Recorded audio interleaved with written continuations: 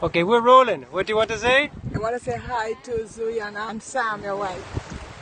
And and uh, we're Hope down here. We, we got some good fish. Caught them out of the fish pot. Yeah. I hope to see you soon Yeah, she's coming in October in October. for two months. Oh, So we'll get a chance to miss you. All right. Bye.